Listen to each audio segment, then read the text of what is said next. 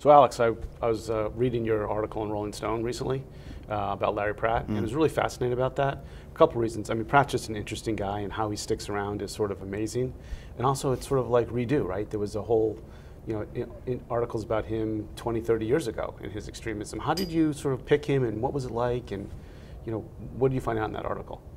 Right. Well, the reason he sort of popped up on my radar was because he was getting all this press in the wake of uh, Manchin Toomey, the background check bill that went down to a lot of people's surprise, and he uh, was instrumental, according to a lot of observers, in that defeat. And he started getting a lot of press for this reason, including a profile in the New York Times.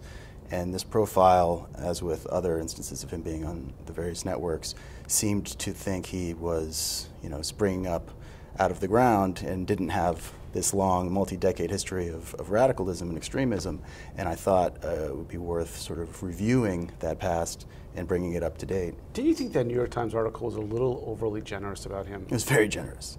Yeah. I, I mean, I just thought that that article sort of made him like, you know, a much bigger figure than I think he really is.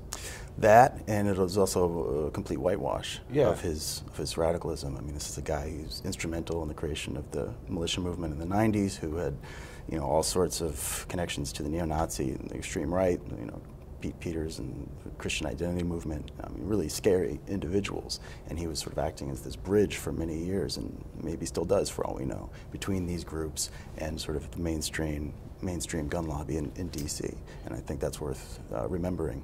I mean, I, I, know that the Rolling Stone, you know, earlier, many decades earlier, reported that he was actually at some of the early militia move meetings, and I think there's a famous meeting at Estes Park with the Aryan Nation. This was before Oklahoma City, right? Yeah. And he was there. Is that what they reported? Oh yeah, he was one of the uh, select individuals invited. He was there at the founding meeting of the militia movement. And wow. then even after Oklahoma City, he was participating in these events, and he's made comments um, that actually seemed to be kind of uh, rationalizing Timothy McVeigh, saying, you know, he was taking justice into his own hands because he felt that, you know, there was no uh, promise that that um, it was going to be administered in any other way. So some pretty, some pretty extreme um, views represented by this. Let's, I want to know more about that. I mean, I'm really interested from your reporting. Like, how does he? How does the mainstream media sort of ignore all of that? You know, I'm many times asked to debate him, and sometimes I will, but a lot of times I'll say, "Do you really know who you're dealing with?" And people will be like, "Oh, he's just a you know gun rights activist. Nothing wrong with him." Um, but he has this. I guess your article was reporting it to other audiences, he's a very different person. How does that happen, and what is that dichotomy about? I think a big part of it is just um, attention span and time, and um, you know, historical memory is getting shorter and shorter. You got these bookers and producers who are in their mid 20s. They don't do a lot of research before they book a guest. They don't really know their history, and um, there's not a lot that's been written recently for them to even look at. I mean, this Rolling Stone article you mentioned was published in 1995 right. by Leonard Zeskind. Yeah, right, right. One of the reasons why I wanted to write this piece was to put something a little closer to now on the books so that people could reference and, and figure out who they're inviting on to CNN or MSNBC or any of these places. C-SPAN, he's on a lot. So what's he doing now? I know you said that, you know, while he's on C-SPAN one day, he could be talking to another audience about. You mentioned some of the Christian identity things. How does that? What's he talking about when, when the cameras really aren't on him?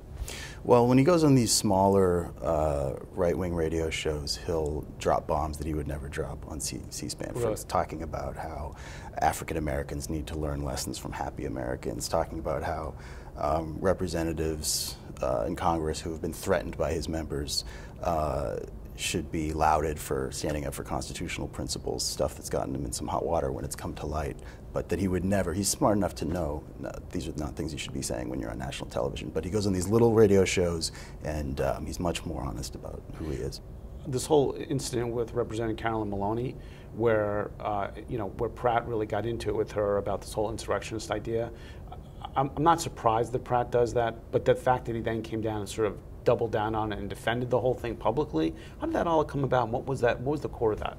What happened was one of Pratt's members in upstate New York, uh, who was in Carolyn Maloney's district, called her office several times and made um, threats against her for her support for gun violence prevention measures.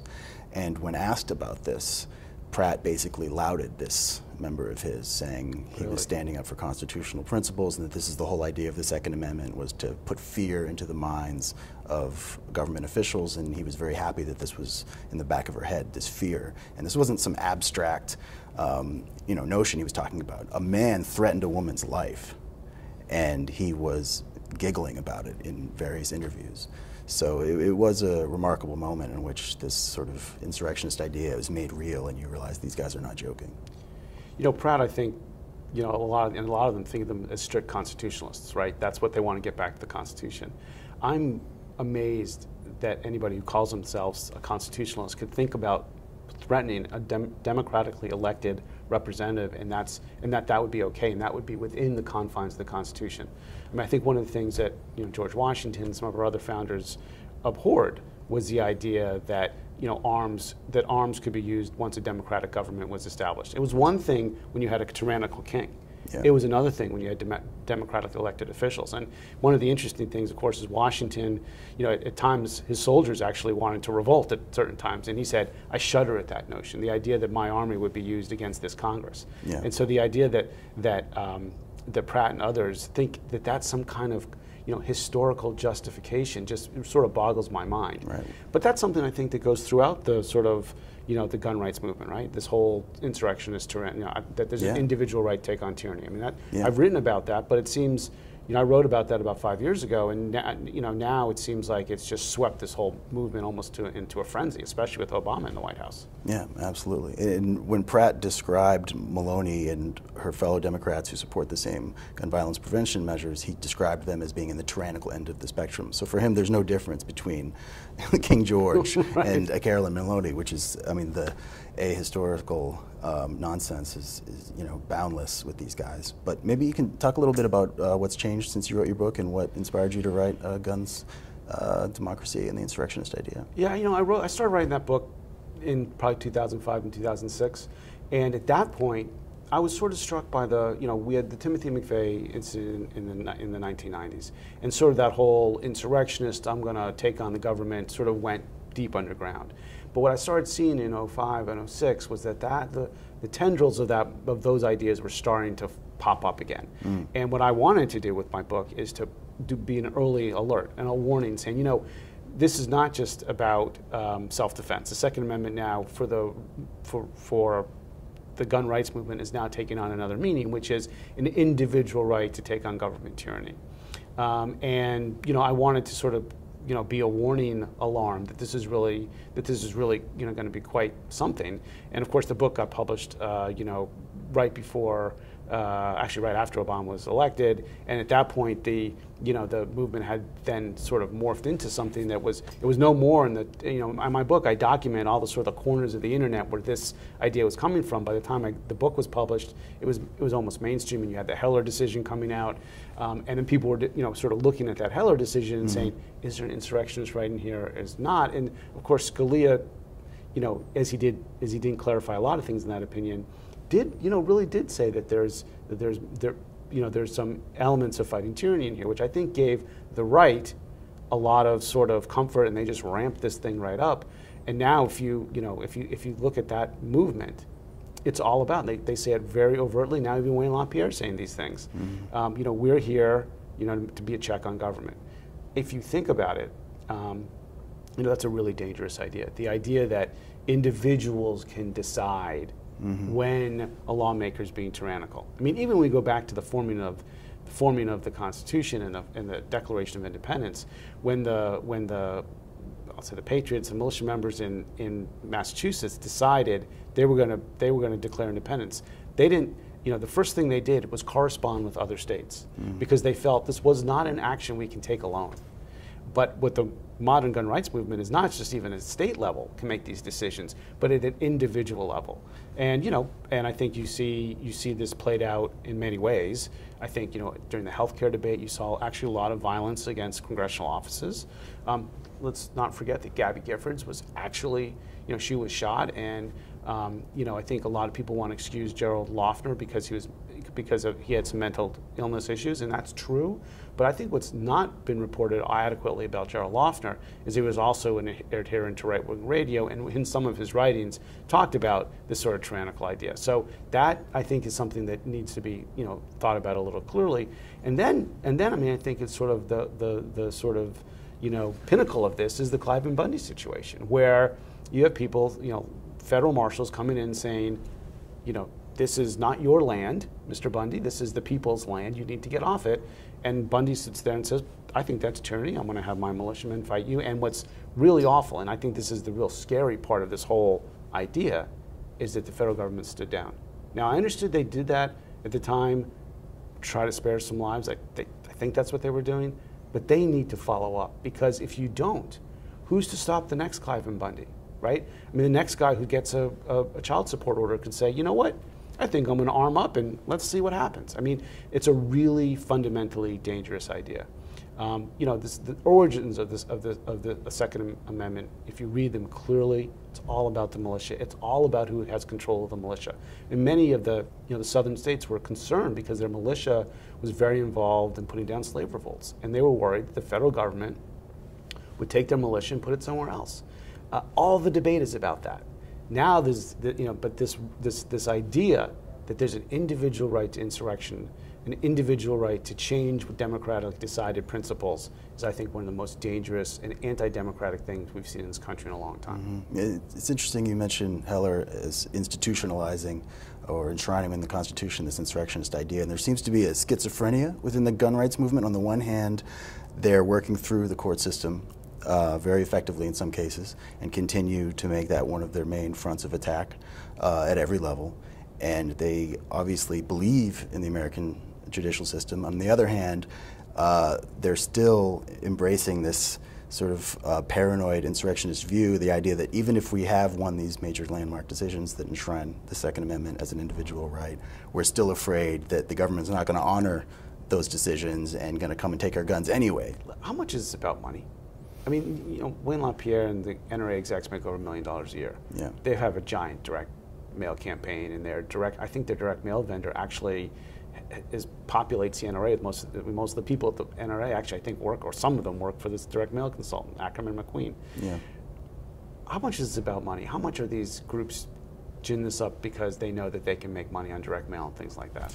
Well, with the NRA, I mean, it's an industry group, so of course it's it's about money. With the smaller groups, I think you don't necessarily have to choose. I mean, Alan Gottlieb has made a pretty penny uh, off of right. gun rights over the years. He actually has his own direct mail company, which dovetails quite ni- nicely ah. with his um, with his uh, gun work.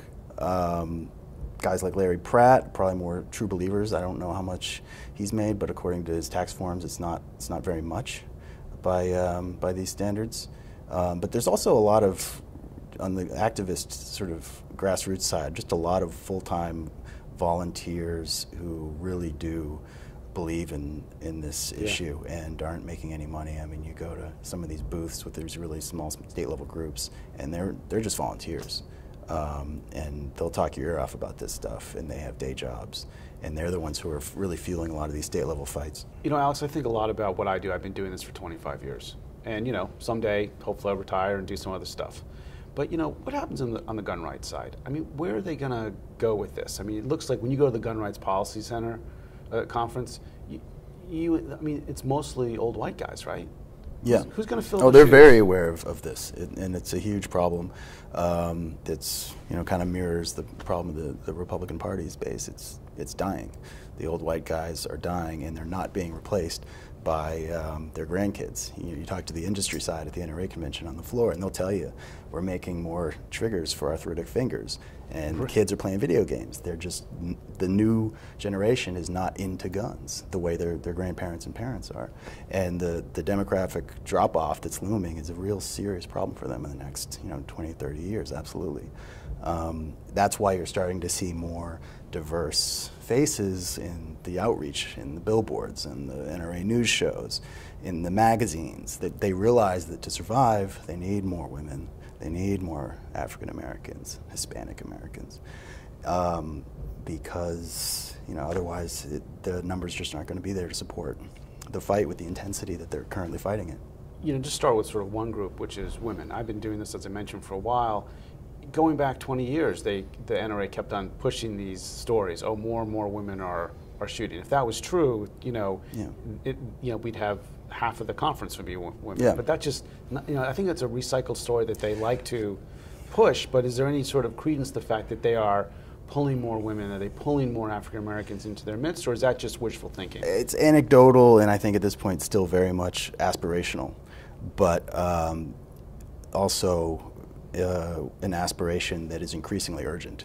And I think you're going to see more and more efforts reflecting that. Yeah, but if they have that aspiration, how can they have a guy like Ted Nugent? Well, that's that's why it reflects the same problem of the Republican Party. Their base is, and their future are, are very hard to uh, address at the same time. I I just don't understand like how they can keep a guy like Ted Nugent on their board who has called President Obama a subhuman mongrel, and then expect to go out there and recruit African Americans. That's the problem. But at their conventions every year, Ted Nugent's their biggest draw. You've got capacity overflowing crowds cheering on his every word. And they have to continue to feed the people paying dues with one eye on the future, and it's not an enviable position. And so, you know, isn't that sort of the box they're in? I think about like, so they need to like, they need to scoop up all these, and, and more, maybe even more right wing people to fill these seats and make the money flow and to look like they're powerful. But is that going to eventually just backfire because you know they're alienating the next generation who, who you know, who who sees um, you know the world in a much more multicultural way?